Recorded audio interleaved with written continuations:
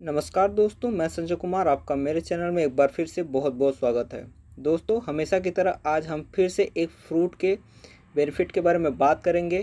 जैसा कि हर वीडियो में हम पाँच मोस्ट इंपॉर्टेंट बेनिफिट के बारे में बात करते हैं। ठीक उसी तरह हम आज पपीते के पाँच मोस्ट इंपॉर्टेंट बेनिफिट के बारे में बात करेंगे दोस्तों। वीडियो स्टार्ट करने से पहले मैं आपसे रिक्वेस्ट करूँगा कि अगर आप मेरे चैनल पर नए आए हैं तो चैनल को सब्सक्राइब कर लीजिए, क्योंकि ऐसे बहुत सारे फ्रूट के बेनिफिट्स और बहुत सारे आयुर्वेदिक उपचार मैं इस चैनल पर देते रहता हूँ। ये दोस्तों, बिना देरी किए बेनिफिट के बारे में बात करते हैं तो जो फ़र्स्ट बेनिफिट है दोस्तों, मैं आपको बता दूँ कि पपीते में विटामिन सी और एंटीऑक्सीडेंट बहुत ही भरपूर मात्रा में पाया जाता है। साथ ही साथ इसमें फाइबर भी पाया जाता है, जिसके वजह से कोलेस्ट्रॉल लेवल को नियंत्रण करने में हमें मदद मिलती है।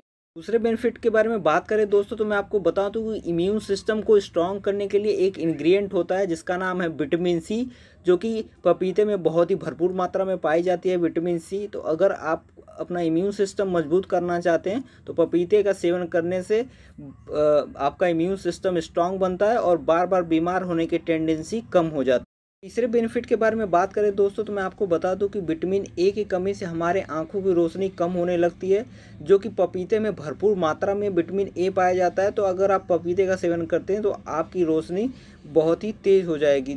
दोस्तों, चौथे बेनिफिट के बारे में बात करें तो मैं आपको बता दूँ कि पपीते में विभिन्न प्रकार के डाइजेस्टिव एंजाइम पाए जाते हैं, जो कि हमारे डाइजेशन सिस्टम को मज़बूत और हमारे खाने को अच्छी तरह से पचाने से कब्ज और लूज मोशन जैसी समस्याओं से भी निजात दिलाता है।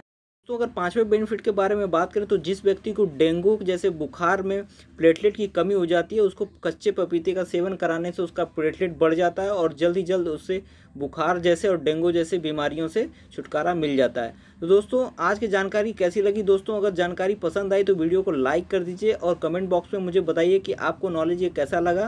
दोस्तों, में शेयर करना ना भूलिए। पूरा वीडियो देखने के लिए आपका बहुत बहुत धन्यवाद।